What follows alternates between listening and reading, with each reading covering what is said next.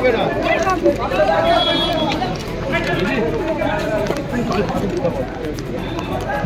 দেখি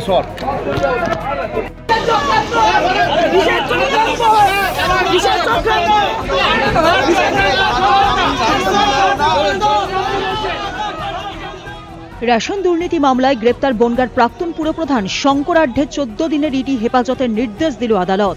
টানা সতেরো ঘণ্টা জেরার পর শুক্রবার রাতে গ্রেপ্তার হন রাজ্যের খাদ্যমন্ত্রী জ্যোতিপ্রিয় মল্লিক ঘনিষ্ঠ, এই তৃণমূল নেতা।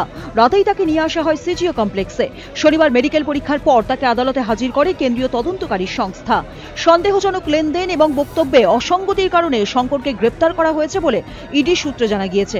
পাশাপাশি এও দাবি করা হয়েছে, রেশন দুর্নীতির একাধিক গুরুত্বপূর্ণ নথি পাওয়া গিয়েছে শঙ্করের বাড়ি থেকে।